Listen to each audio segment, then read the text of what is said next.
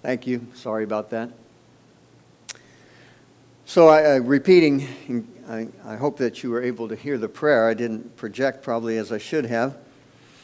The, um, if you would open your Bibles, please, and follow along, we'll read for, uh, the context of our text, and then we'll again read from the book of Hebrews, a different place that, and, that shows us how what we read in the Old Testament here is fulfilled in our Lord Jesus Christ. So open your Bibles, if you would, to, first of all, to the Old Testament, to 1 Kings 8. 1 Kings 8. And we'll begin reading a couple verses before our text, our sermon text, at verse 52. Now, the setting, let me set the stage for you. Solomon is, the, the temple has just been completed. Solomon is praying a prayer of dedication uh, for, uh, regarding this great house of the Lord. Must have been an amazing thing to behold. And we kind of interrupt him in the middle of his prayer here at verse 52. He prays, That your eyes may be open to the supplication of your servant and the supplication of your people Israel, to listen to them whenever they call to you for you separated them from among all the peoples of the earth to be your inheritance, as you spoke by your servant Moses, when you brought our fathers out of Egypt, O Lord God. And so it was when Solomon had finished praying all this prayer and supplication to the Lord, that he arose from before the altar, from kneeling on his knees with his hands spread up to heaven. Then he stood and blessed all the assembly of Israel with a loud voice Blessed be the Lord who has given rest to his people Israel, according to all that he promised. There has not failed one word of all his good promise, which he promised through his servant Moses. May the Lord our God be with us as he was with our fathers. May he not leave us nor forsake us, that he may incline our hearts to himself to walk in all his ways, and to keep his commandments and his statutes and his judgments, which he commanded our fathers. And may these words of mine, which I have made, with which I have made supplication before the Lord, be near the Lord our God day and night, that he may maintain the cause of his servant and the cause of his people Israel, as each day may require, that all the peoples of the earth may know that the Lord is God. There is no other. Let your heart therefore be loyal to the Lord our God, to walk in his statutes and keep his commandments as at this day. Then the king and all Israel with him offered sacrifices before the Lord. And Solomon offered a sacrifice of peace offerings, which he offered to the Lord 22,000 bulls and 120,000 sheep. So the king and all the children of Israel dedicated the house of the Lord. On the same day, the king consecrated the middle of the court that was in front of the house of the Lord for there he offered burnt offerings, grain offerings, and the fat of the peace offerings, because the bronze altar that was before the Lord was too small to receive the burnt offerings, the grain offerings, and the fat of the peace offerings. At that time, Solomon held a feast, and all Israel with him, a great assembly, from the entrance of Hamath to the brook of Egypt before the Lord our God, seven days, and seven more days 14 days. On the eighth day, he sent the people away, and they blessed the king and went to their tents, joyful and glad of heart for all the good that the Lord had done for his servant David and for Israel, his people.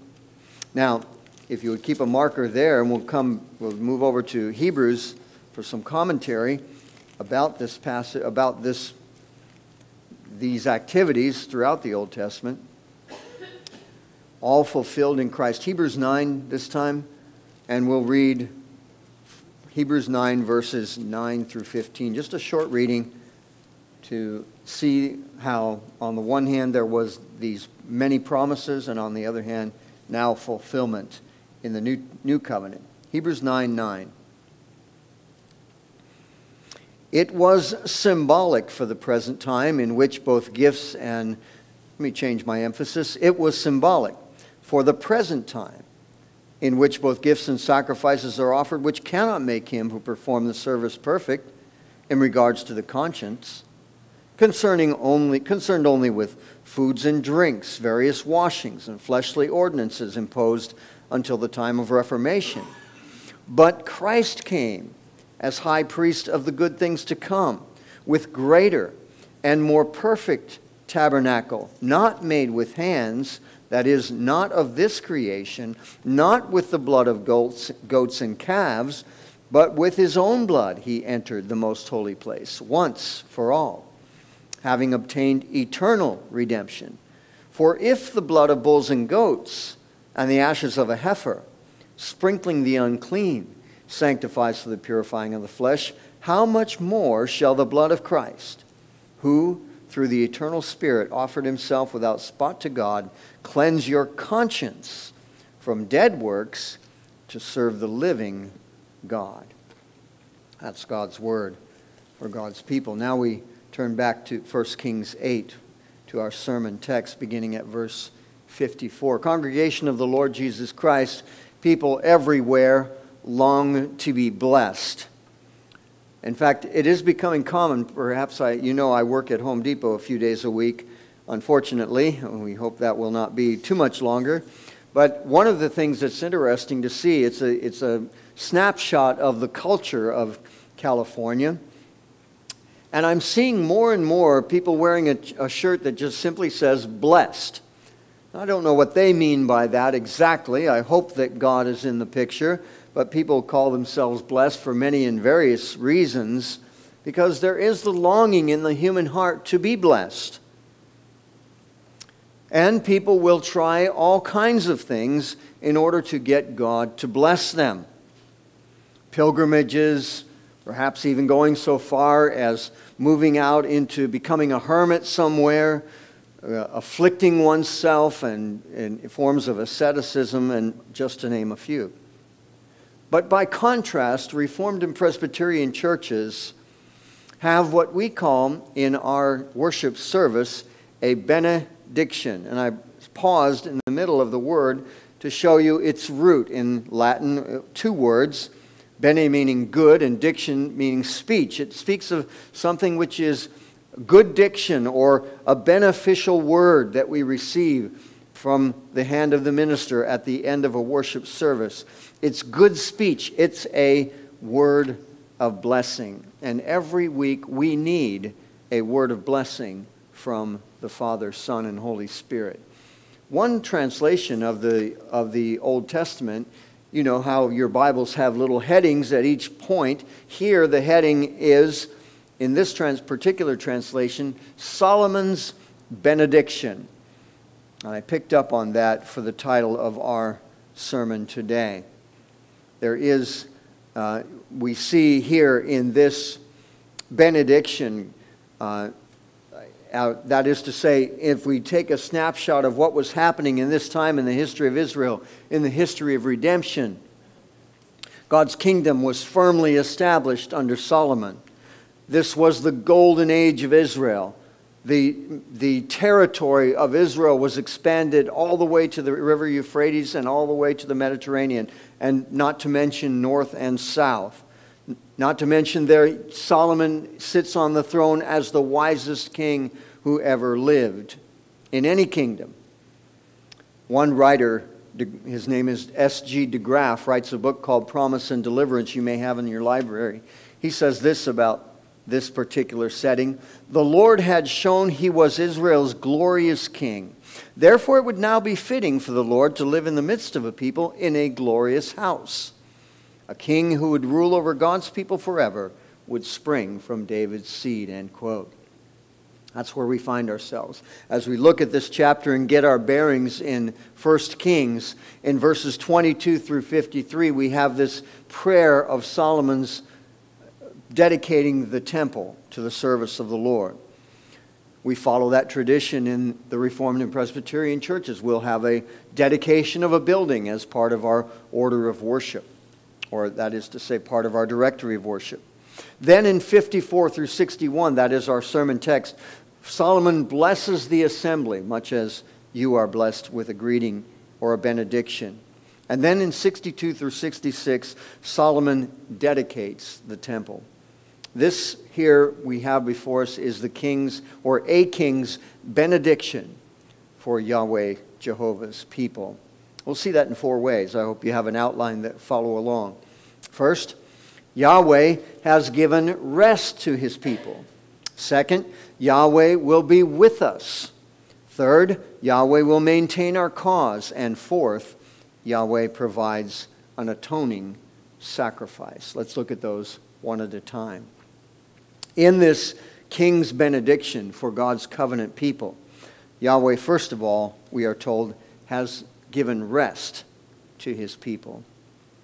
We know Solomon's story. We know it began well and ended terribly.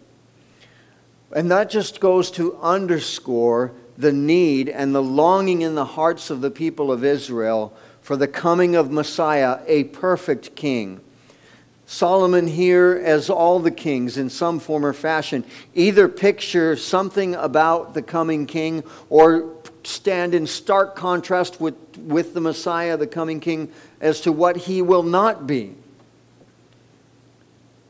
The Lord Jesus Christ is pictured here in Solomon and is portrayed as a great and mighty king, the wisest of all kings. But also, Solomon left the people sadly longing for that perfect, or longing for that perfect king, that greatest high priest. Jesus said of himself, you may remember in Matthew 12, the queen of the south shall rise up in judgment with this generation and shall condemn it, for she came from the uttermost parts of the earth to hear the wisdom of Solomon, and behold, a greater than Solomon is here. We read in verse 55 that King Solomon stood and blessed all the assembly of the people of Israel with a loud voice. And he said in verse 56 Blessed be the Lord who has given rest to his people, Israel, according to all that he promised. He did not say, by the way, Blessed be the Lord who has given wealth to his people, or Blessed be the Lord who has given health to his people, or prosperity, or victory over their enemies, or great power, or fame, or great status. No, blessed be the Lord who has given rest to his people. That is the emphasis here. And in this, Solomon again foreshadows the coming Christ. Jesus Christ has given, given rest to his people according to all that he promised. Sometimes we sing a song in the Trinity hymnal Jesus, I am resting, resting in the joy of what thou art. We think of the words of our Savior when he was incarnate on this, on this earth. And he promised in Matthew 20, 11 28, Come to me, all you who labor and are heavy laden, you know the rest, and I will give you rest. Take my yoke upon you and learn from me, for I am gentle and lowly in heart, and you will find rest for your souls. And every Christian knows this to be the truth. That's already true for us as Christians. We are resting in Christ. He has given us rest for our souls. But not yet have we experienced that in its fullness. We read in 2 Thessalonians 1 7 to give you who are troubled rest with us when the Lord Jesus is revealed from heaven with his mighty angels. There, already we have rest in Christ, but a day is coming that is not yet here. When Christ returns, we are going to experience a heavenly rest that is eternal. Sometimes, when you have perhaps you've been to any uh, funeral from time to time, and as the minister is uh, conducting the service, perhaps he says that he, we are committing this one to his eternal or heavenly rest. There's nothing wrong with that. We are looking forward to that time when our labors are in this world are done and we take up the labors. It is somewhat of a, in our minds, a, a, a paradoxical thing that on the one hand, we will not be just flying around on clouds with harps in our hands, singing hymns all throughout eternity. We will have work to do. And yet, at the same time, it is promised a promised rest from the, the difficult labors of this life. In this life, probably most of you will lack a great deal of wealth. You will, there will come a time for each and every one of us where we will lack health. You possibly, probably most of us will not achieve a carefree life in this life, nor will we have great prosperity or great power or great fame or great status. Non Christians may have those things and more, but they are restless, aren't they? Because they have a God shaped hole in the middle of their being that only God can fill. They try to fill the, that void with all of these things I have mentioned and more. But nothing can fill that void. They, are, they remain restless. But you, brothers and sisters in Christ, you have this supreme blessing from our Lord and Savior. You have what Solomon prayed for spiritual rest in Christ. Treasure that with all of your being. We see the means of this promised rest in verse 56. The king goes on to pray this way as he prays back God's word to him. He says, There has not failed one word of all his good promise, which he promised through his servant Moses. Whenever we are in the Old Testament, brothers and sisters, there is a, many of the Reformed and Presbyterian theologians like to speak of the already and the not yet. Whenever we're in the Old Testament in particular, but in some sense, any part of the Bible, there is a sense in which we are already experiencing what is promised there. And there is also the expectation of that which is not yet, the fullness of whatever it is that is promised. And so it is with this rest.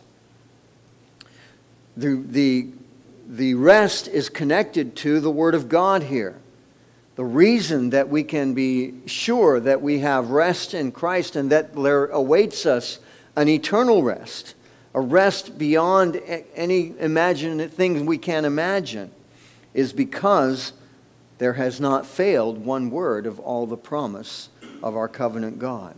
For them, the Old Testament saints who were living in the days of Solomon and his successors, they experienced a kind of rest in the promised land, didn't they? They had been on the march for 40 years through the wilderness. They had to run away from Egypt for their lives, literally. They had finally, then they had to do battle with all the Canaanites and all the other ites, as J. Vernon McGee used to say on his radio program. But finally, they had a measure of rest. And as I said, this became the golden age of Israel, they, which they would look fondly back on. 480 years of rest from Moses to Solomon. Uh, but that was temporary, wasn't it? That land was soon taken away from them by the Babylonians. That land was soon taken away from them by the Assyrians and the Greeks and the Romans, and fill in the blank. That was the already that there was a fulfillment of this already in the days of Solomon, where the people finally had a sense, a time to rest in the land. But this, it left them longing for this eternal and spiritual rest. For us now, on the other side of the cross, we rejoice in that spiritual rest that we have in Christ. And it is ours because He promised it, and not one word of His promises failed. We, we, know, we all know what it's like, I'm sure. Those of us with any either gray hair or no hair know what it's like to have something promised to us, something warranted, something guaranteed, only to find out later that the, what we expected was not delivered. The company may or may not honor it. Someone said that my, one of my bosses once told me that any contract is only as good as the man who or the person who puts their signature on it. But that's not so with God's promises, is it, beloved? When God promises rest, we have rest. When God promises we will have eternal rest, we will have eternal rest. All the promises in Christ are yes and amen. His promises are an ironclad guarantee that cannot be broken. Revelation 14:13 says it this way. Then I heard a voice from heaven saying to me, Write, Blessed are the dead who die in the Lord from now on. Yes, says the Spirit, that they may rest from their labors and their works follow them. That's the first thing. Yahweh has given rest to his people. That's the first part of this king's benediction. The second part is that Yahweh, the promise that Yahweh will be with us. The second part of this blessing or benediction is Yahweh will be with us. Yahweh will be with us as he was with our spiritual forefathers. Look at verse 57.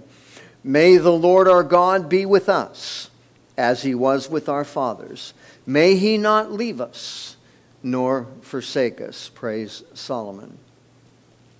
Already in the days of Solomon, there, the blessing of the Lord was indeed poured out upon that nation and that people, that covenant people of God.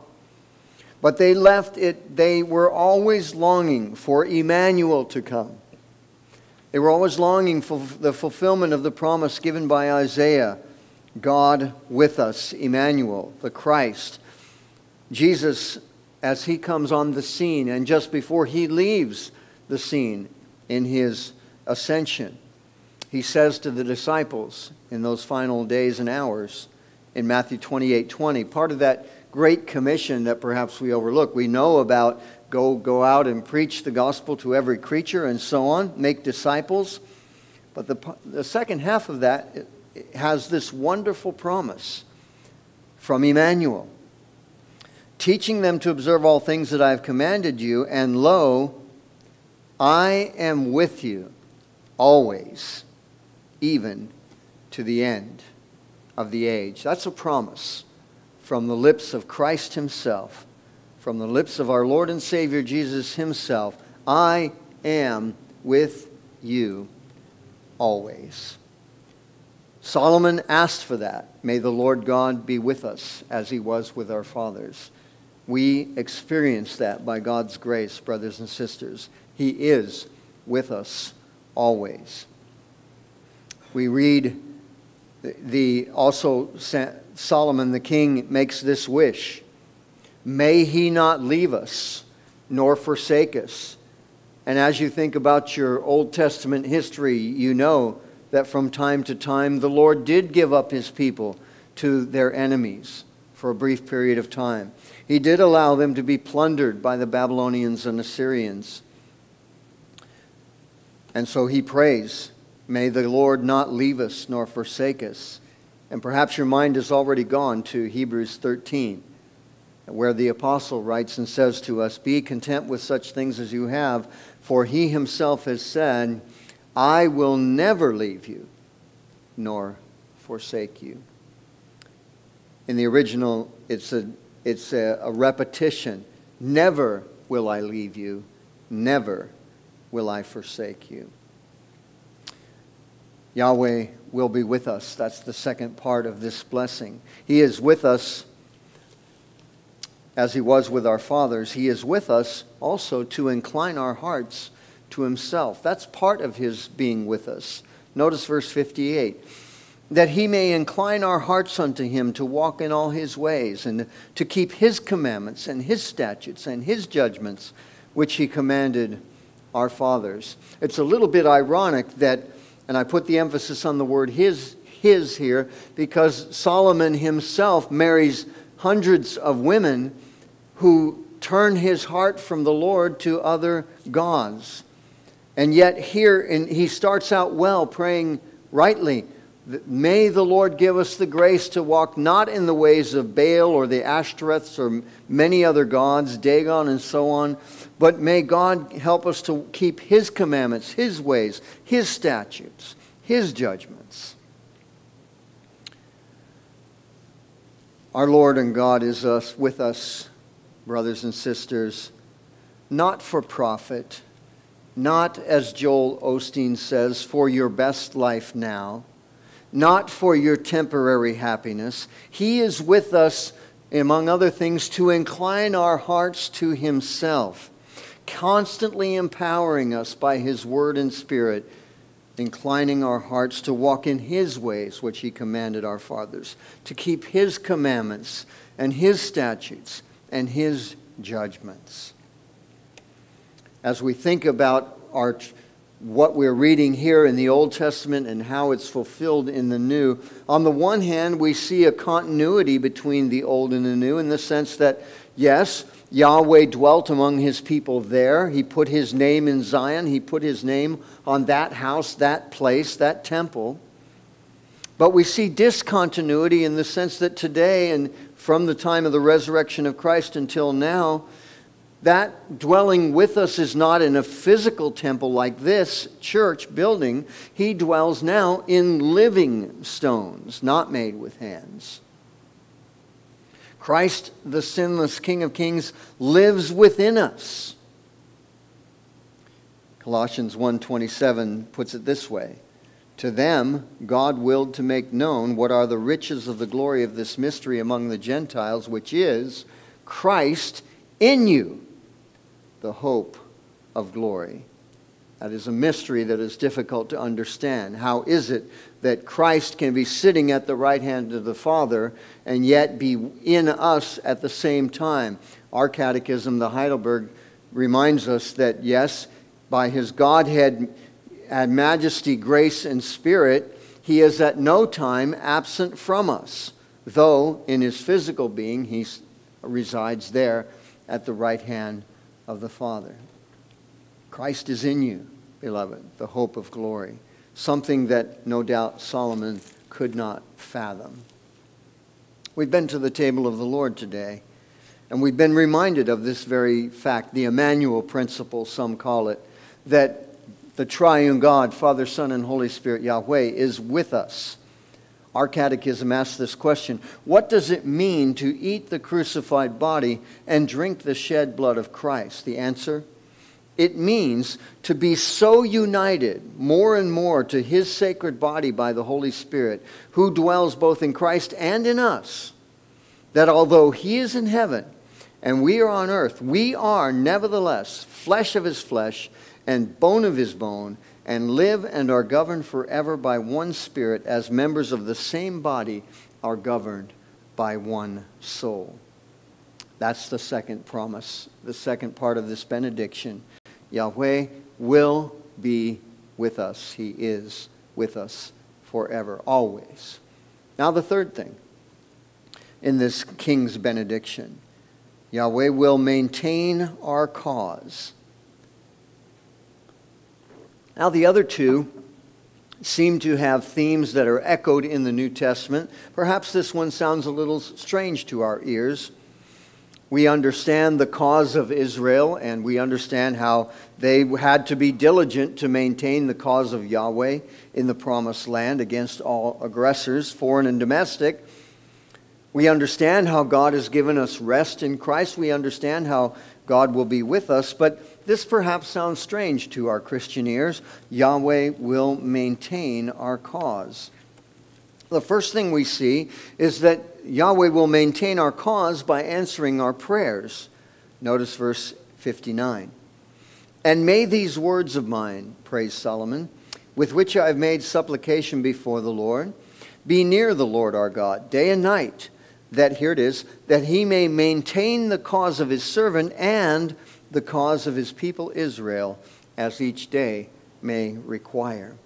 Again, Solomon the king typifies Christ, the King of Kings, and our great high priest and our advocate, What, does, what is Jesus Christ doing at the right hand of God the Father? He is certainly ruling and reigning over the universe. That is true. But he is also, we've read it both this morning and this evening, that he is making intercession for us as our great high priest. He is maintaining the cause of his people as each day may require. He brings our prayers and our supplications near our Father in heaven. Day and night, by the way, this high priest never rests, never stops interceding. The old King James says, He ever liveth to make intercession for us. The New King James reads this way Therefore, He is able also to save to the uttermost those who come to God through Him, since He always lives to make intercession for them. Yes, He maintains our cause by answering our prayers. He also maintains our cause by defending us. And once again, Solomon foreshadows the Christ, the great king, the defender of God's people against all enemies. Christ always has been, Christ always will be the defender of his sheep. Perhaps your mind goes back to that battle of Jericho when Joshua sees this warrior standing there and he goes to find out, Are you with us or against us? And basically, the warrior says, Neither. Get behind me. I come as the captain of the Lord of hosts. I'm going to take this city. And then, as fast forwarding all the way to the end, the book of Revelation 12, we read this. Then I heard a loud voice saying in heaven, Now salvation and strength and the kingdom of our God and the power of his Christ have come. For the accuser of our brethren who accused them before our God day and night has been cast down and they overcame him by the blood of the Lamb and by the word of his testimony. We can fully depend on our King and our great high priest to maintain his cause and the cause of his people at all times. We can depend, him, depend on him to maintain our cause, brothers and sisters, as long as it is consistent with his cause. That's why the motto of Reformed and Presbyterian churches is Semper Reformanda, always reforming, always wanting our cause to be lined up with His cause, having the confidence that He will maintain our cause as we do so. He will give us, notice the language of the New King James as it's written here, as each day may require. That is to say, He gives grace and defense suitable to each occasion. Grace just when we need it. To maintain, he maintains our cause. Not too soon or not too late does he come to our defense. Why will he maintain our cause? Verse 60. That all the peoples of the earth may know that Yahweh is God. There is no other. He maintains the cause of his people. We prayed just, re- just now for the persecuted church all over the globe. It seems that no one is maintaining their cause, but the unseen hand of the Lord is there, maintaining the cause of his persecuted church. He, by means of maintaining his church, gathering, defending, and preserving his church, his chosen ones, broadcasts his superiority to all the other so called gods of the world, whether they go by the name of Allah or Vishnu or Buddha or whatever other name they may take. Christ, as we sing sometimes, shall have dominion. Earth's remotest regions shall his empire be. Already, there's an already and a not yet here as well, brothers and sisters. Already, all the peoples of the earth know that the Father, Son, and Holy Spirit is the one true God. That is to say, not that they would necessarily confess it, but what I mean by that is every people group on this planet, now in this 21st century, has been, has been reached with the gospel of our Lord Jesus Christ. Not every individual, but every people group. That couldn't be said in a century ago. his name already. All the peoples of the earth already know that the Lord is God and there is no other. But there is a not yet aspect to this as well. The church is growing. There are individuals, there are individual tribes among those people groups who have not yet heard the name of Jesus Christ. The King of Kings says, as Abraham Kuyper used to like to say, every square inch of this earth is mine. Yahweh will maintain our cause. That's the third thing. The last thing is in this benediction is Yahweh provides an atoning sacrifice. And that sounds like something we celebrated this morning, doesn't it? Well, it was a very different sacrifice back then, wasn't it? The king joins the priests in offering 142,000 animals to make peace with Yahweh, a number that's staggering to the imagination. Perhaps you've taken the five and driven down toward LA and past Harris Ranch, and it seems like there must be 142,000 cows there, but they're not, I assure you. That's a staggering number, isn't it? Uh, underscored and listed for us just again by the Holy Spirit to emphasize that all the blood of bulls and goats in the entire world from the time of Adam till today could not make atonement for sin. Christ, we read, came as high priest of the good things to come with the greater and the more perfect tabernacle, not made with hands, not of this creation, not with the blood of goats and calves, but with his own blood he entered the most holy place, once for all, having obtained eternal redemption. How much more shall the blood of Christ, who through the eternal Spirit offered himself without spot to God, cleanse your conscience from dead works to serve the living God?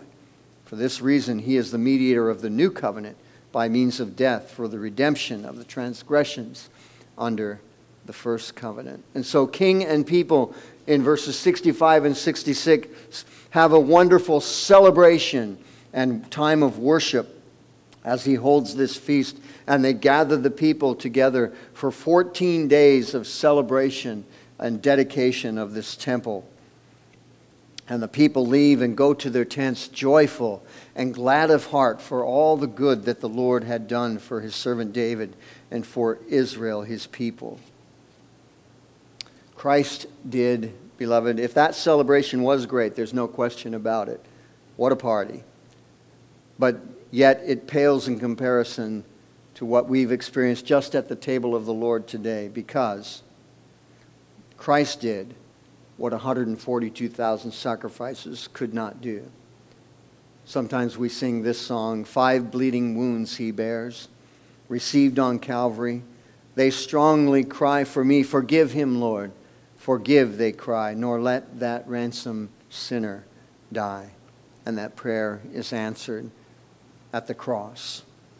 Yahweh provides an atoning sacrifice on the cross of Calvary so, in conclusion, verse 61, we have this charge from our covenant keeping God. We've heard promise after promise after promise, but now the command, verse 61. Let your heart therefore be loyal to the Lord our God, to walk in his statutes and keep his commandments as at this day. Let your heart be loyal, or let your heart be true, wholly true to the triune God. And once again, in this, charge, Solomon foreshadows the Christ, our chief prophet, who is constantly challenging us, even by this means, the proclamation of his word, challenging us as his disciples to be wholly to, true to our triune God, constantly challenging us as his disciples to walk in his statutes and in his commandments, like our spiritual and faithful forefathers. After all, he said, If you love me, keep my commandments. Sinful Solomon left believers longing for a king who perfectly would glorify God continuously in every thought, in every word, in every action. And our Lord Jesus Christ is that king. During his earthly ministry, his heart was always perfect with the Lord our God. He always walked in God's commandments, his Father's commandments. He always kept the Lord's statutes and thank God that his righteousness is counted as ours by faith, brothers and sisters. We celebrated that at the table today, too. Our, forgive me an